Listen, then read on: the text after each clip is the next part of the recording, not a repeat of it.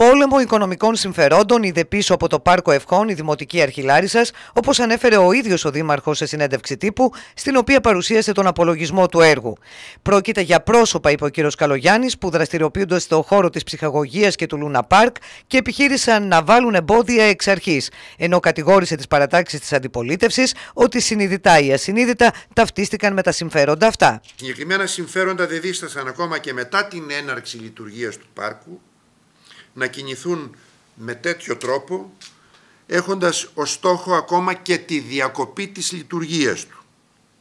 Είναι πολύ χαρακτηριστική η υπόθεση της καταγγελίας για θέματα δημόσιας υγείας από τα τροχόσπιτα των χειριστών και των ιδιοκτητών των παιχνιδιών του Λούνα Πάρκ, τα οποία γνωρίζουμε ότι έχουν πέσει στο κενό.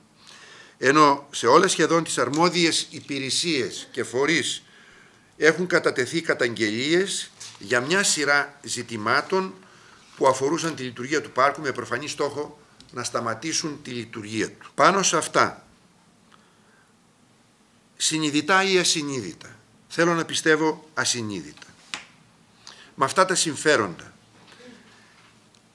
ταυτίστηκαν ή επένδυσαν πολιτικά και παρατάξεις της αντιπολίτευσης του Δημοτικού Συμβουλίου. Αναφορικά πάντως με την απόφαση της αποκεντρωμένης διοίκησης Θεσσαλίας που έκρινε μη σύνομη την όλη διαδικασία, θέμα το οποίο είχαν αναδείξει παρατάξεις της αντιπολίτευσης, ο Δήμαρχος επέμεινε ότι όλα έγιναν με καθαρό τρόπο.